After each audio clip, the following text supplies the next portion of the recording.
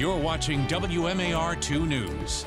Mayor Brandon Scott released a statement on that deadly shooting in downtown Baltimore Thursday. We know that a confrontation between a driver and a squeegee worker broke out in the street. The driver drove off, parked their car, and went after the worker with a bat. That's when the squeegee worker allegedly pulled out a gun and shot the driver. Mayor Scott says, regardless of what caused this incident, it is a sad reminder that far too often easily avoidable confrontations escalate into acts of violence. And this shooting is just one of several deaths that we have seen in the Inner Harbor. Let's go back to June when 25 year old Ryan Harris was shot to death not far from where today's incident happened. It happened near East Redwood at Calvert. Harris was an, an IT specialist in the Army Reserve. People who work with him say he was a good guy with two young kids who was just trying to be a good soldier. Then in May, several teenagers were shot and one of them killed here at the Inner Harbor. A 17 year old boy, Neil Mack, was rushed to the hospital but died because of his injuries. Two other teens were also shot, but they made it. Officials were able to arrest at least one other teenager in connection with Mack's death.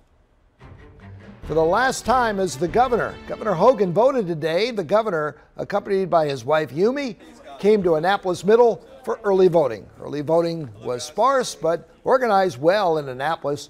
When the governor first became governor, they didn't even have early voting like we do today. He is a big supporter of this now.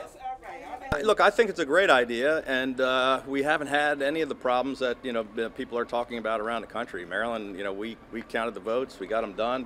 One third of the people voted by mail, one third voted uh, early, and the rest of them voted on election day. And uh, you know, I think we ought to have as many ways as possible for people to cast their ballot. Any person that is registered to vote can vote early. You can even register to vote at a voting site during early election. Early voting runs through July 14th. In person sites are open from 7 until 8 p.m.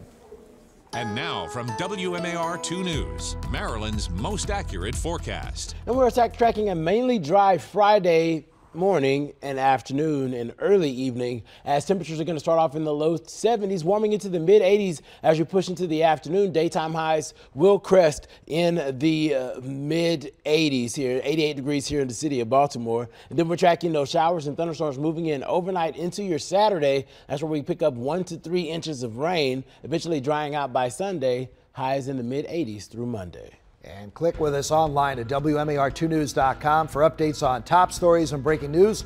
Also for news and weather while you're on the go, download the WMAR2 News app in the App Store. Thanks for watching. I'm Jamie Costello.